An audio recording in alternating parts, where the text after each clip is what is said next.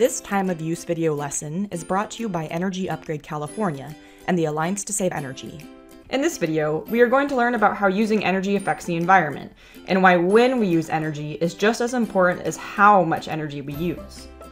We tend to take it for granted, but energy plays a vital part in our daily lives. But extracting and burning fossil fuels has an enormous impact on our environment, including land, water, and animal populations. Perhaps the most profound impact comes in a form we can't see, but we can certainly feel. Since the mid 20th century, climate scientists have tracked global warming trends and attributed them largely to human activity on the planet, specifically the burning of fossil fuels. Our use of fossil fuels has increased the levels of carbon dioxide in our atmosphere from about 275 parts per million in the pre industrial era to well over 400 parts per million today. This has caused a dramatic rise in global temperatures. Warming temperatures are also melting our glaciers and polar ice, driving up sea levels and destroying coastal communities and habitats. And extreme weather is fueling more natural disasters, which have severe consequences for both people and animals. There aren't any winners with global warming, and it is not a problem that is going away. So, how do we continue to enjoy all the benefits of abundant energy while preserving the natural world that supports us? The answers are all around us. It's in the winds that blow from the coast and across the desert, the water in our rivers and streams, and in the sun that has naturally energized our planet every morning since the beginning of time. These energy sources will never run out, and they provide thousands of times more energy than we would need for every human on Earth. The tricky part is capturing it. We can extract fossil fuels and store them for use at a later time. The difficult thing about renewable energy is that it's hard to store.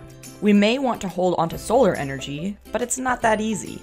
So for right now, we have to use renewable energy like solar and wind when it's available or we lose it. That said, scientists are getting better at storing renewable energy. Batteries, thermal storage, and other technologies are advancing very quickly, but they have a long way to go before we can store all the renewable energy we're able to capture. But we can't wait. We need bold, visionary leaders to pave the way to a brighter tomorrow. Which brings us to California in California, where the Priuses travel in herds and long sun drenched days give way to steady coastal breezes, we get most of our energy from. fossil fuels? Sad, but true. Most of the energy we use every day to light our schools, power our cars, and run our homes comes from carbon intensive sources. Fortunately, California leads the nation in divesting from carbon intensive fuels, aiming to become a zero carbon emission state by 2045. Our state leads the nation in electricity generation from non hydro renewable energy sources, including geothermal, wind, and solar power, which is a great thing. However, for us to achieve our long term goals, we must continue to produce more electricity from renewable resources. But until we can store all the renewable energy Mother Nature throws our way, it can sometimes be too much of a good thing. Which brings us to time of use.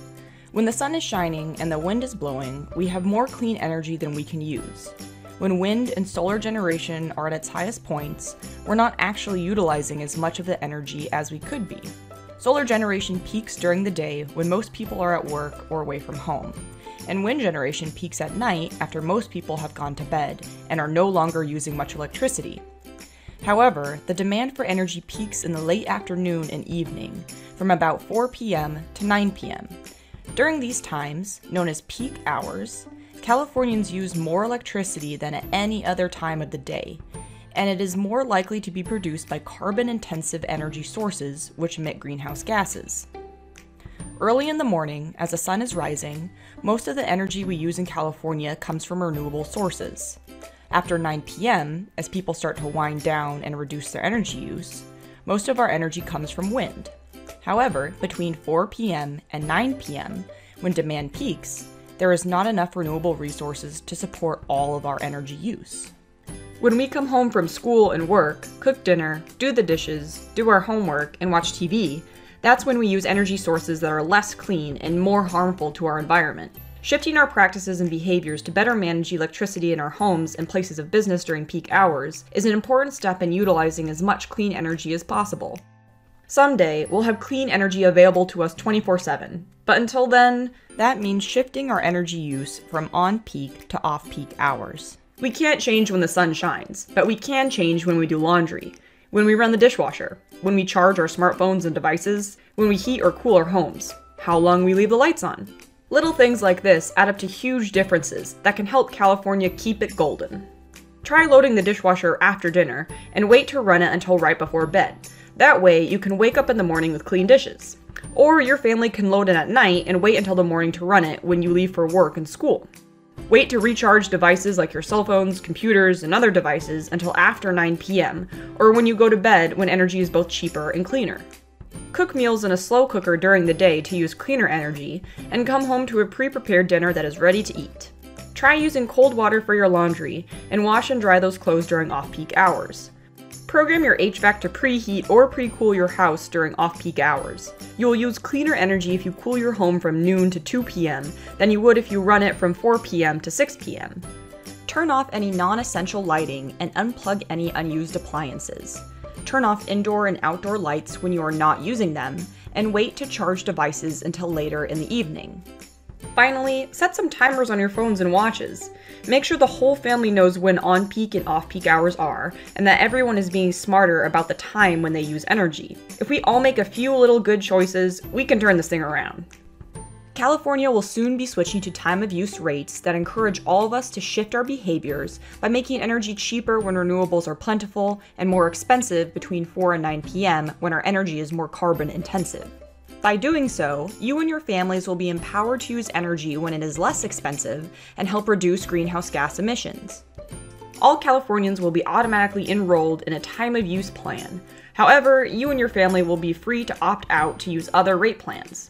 If you have questions about when time of use goes into effect in your region, or whether they're the best rate plan for your family, feel free to call your utility company and ask.